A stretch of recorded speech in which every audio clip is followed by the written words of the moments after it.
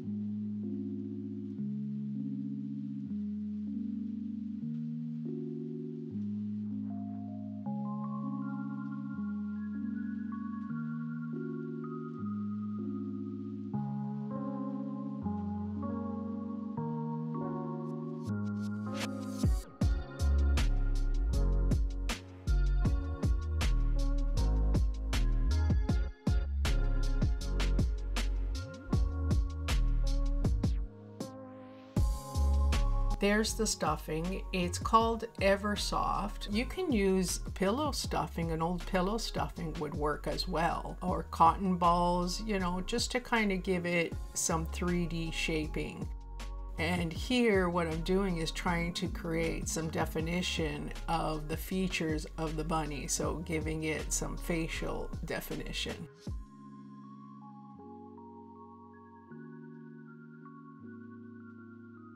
For the back, you can go sparse. You don't have to give it too much, but the back is visible. So you want it to not look flat.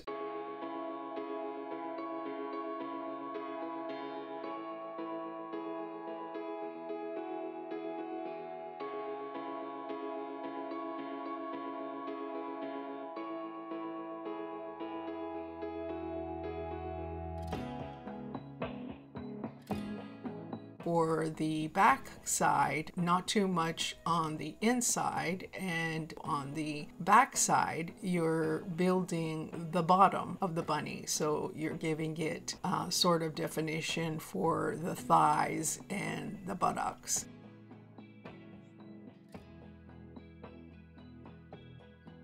Now, I contemplated what kind of material I was going to use. So in the end, you're going to see I had um, some different material out, but in the end, I went with the chunky yarn. Now, if you want, you can use a thinner yarn uh, if you don't want to use chunky.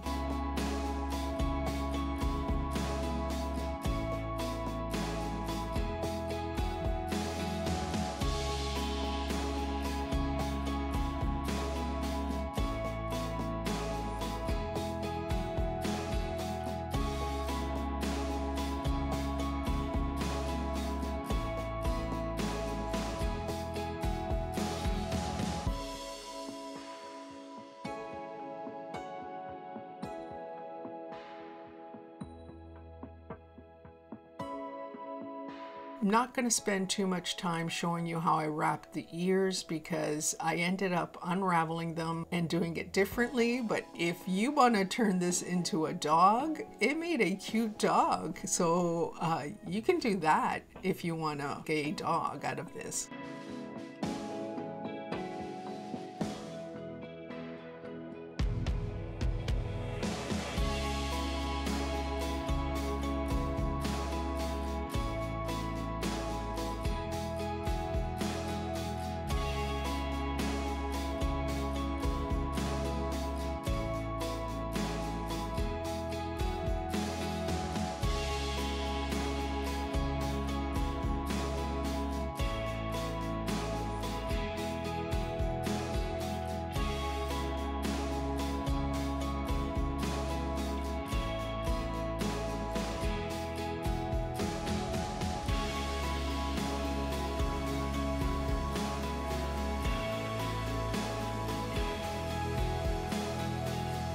Is great if you glue it and close each row close together so it doesn't open up.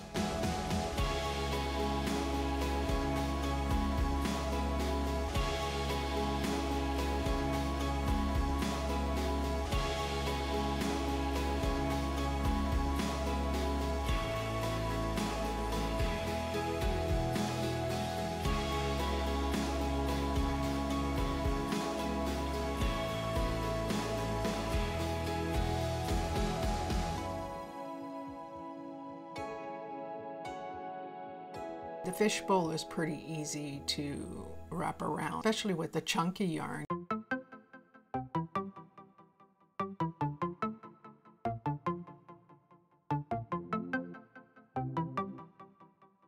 I made it right to the end of the roll with the uh, remainder of what I had from my first batch of the chunky yarn. I normally use those faux snowballs that you get uh, from Dollar Tree and Dollarama, but I did wanted to match the chunky yarn, so I made it out of a golf ball, and I only did half of the ball, and you'll see why. And here with the Jenga blocks, I am making the front of the feet because they're generally smaller on a rabbit and the hind legs are a little bit longer. I just wanted to make them a little bit different.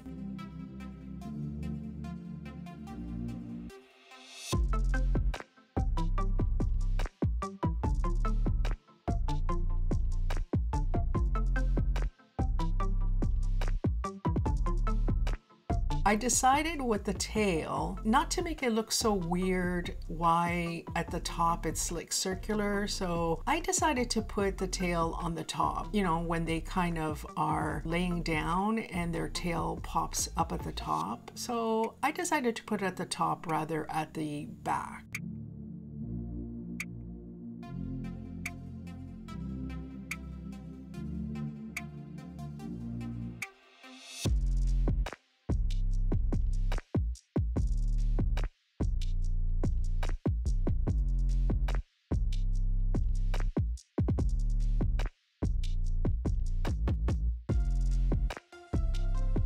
Here I'm using floral wire to make whiskers and I used a permanent black marker rather than painting it.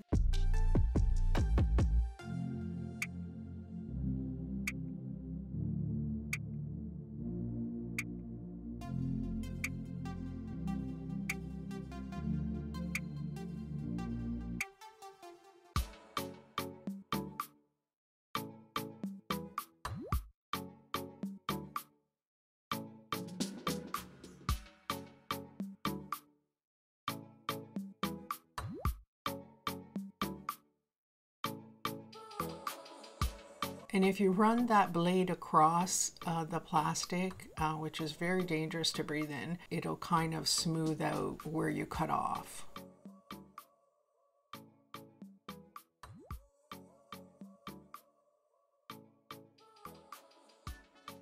I decided to give the rabbit a little bling on the glasses just to give it a nice little pop.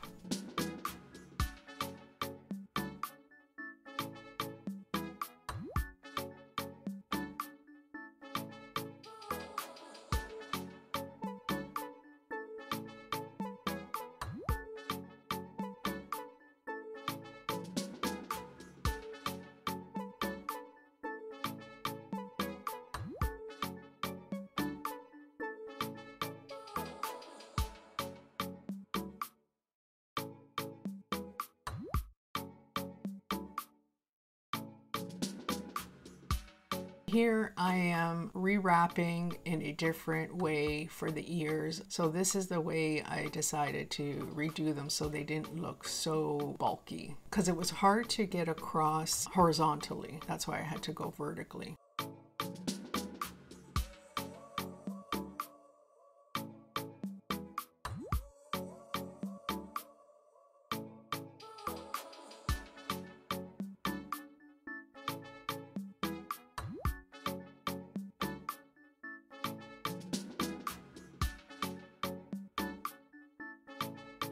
These eyes, I purchased them for my owl project. So I had different ones. You can use the googly ones that you get from Dollar Tree if you wish, or you can draw them in, whichever way you're going to do your project.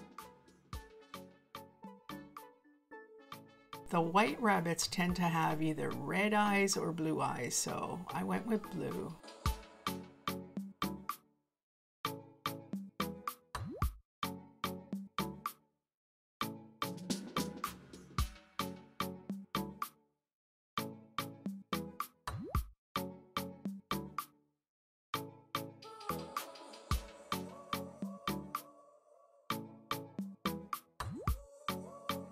If you wanted to use the rabbit for for spring later and you wanted it to not have eggs in it i was giving you an idea. You can put a different container in and i put white duct tape in so you wouldn't see the green floral foam. So you could just take the container out and swap it out for anything different flowers or plant or something else whatever you want to put in it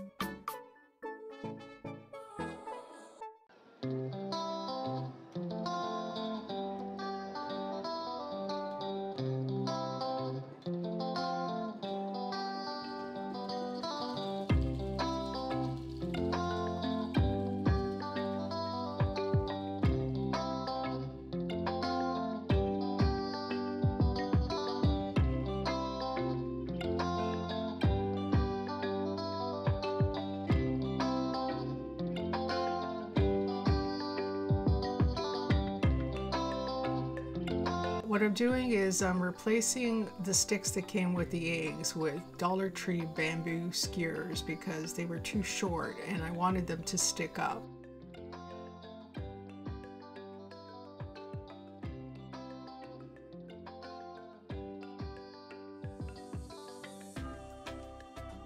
I did make a bow maker and I was going to go grab it and use it, but I wanted to do an easier way of making multiple bows in a shortcut way. So uh, that's what I'm doing here. You just make the bow and then you just add or tie the ends and layer them.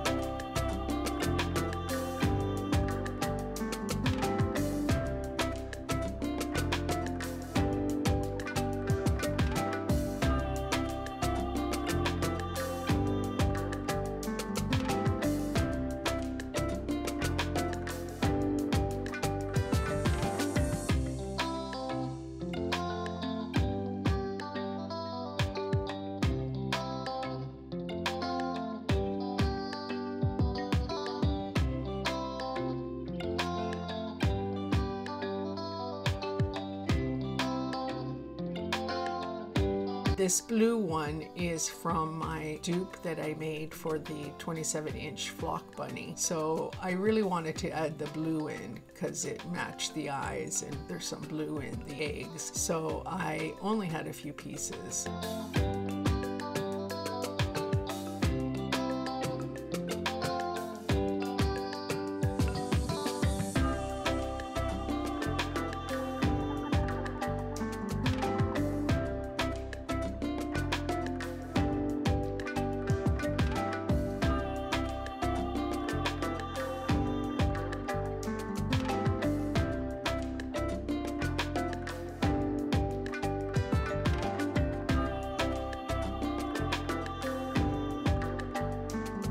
So for those of you that struggle making bows, it's that easy. Just take a piece and glue it together as you saw, and then add the tail.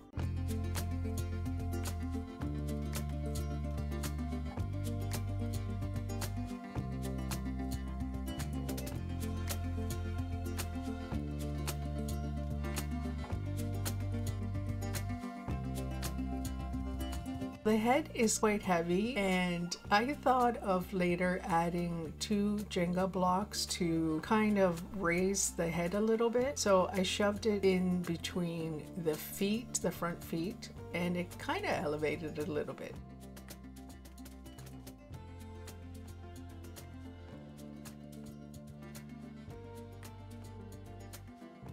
So there's the before and the after, just a little bit.